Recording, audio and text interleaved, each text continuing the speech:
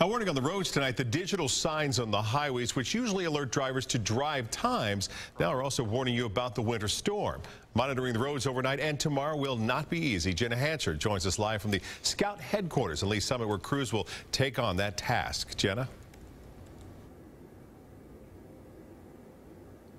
In less than an hour, crews will be right in here monitoring. It's mostly empty right now. You see at least two workers that are working inside of this scout center, but they are going to start filling up at about 11 o'clock when those overnight workers are going to be in here in order to monitor these cameras and monitor these roads. So there are approximately 150 monitors, scout cameras on that are on 24-7. They're on 24 major routes in the Kansas City metro area and major interstates. So when accidents happen, crews here, they monitor them. MoDOT workers that are on the roads, they can then go assist and help people that are on those roads. So they're definitely going to be keeping a close eye on these cameras. Their dream would be to not have any accidents for people to stay home if they don't have to go out. But of course, that is unfortunately not going to be the case. So they are going to be monitoring those cameras very closely overnight and into the morning as we're going to start seeing that snow. And they've told me to give out this number if there is anyone that needs help while they're out or needs any information on the roads. That's 188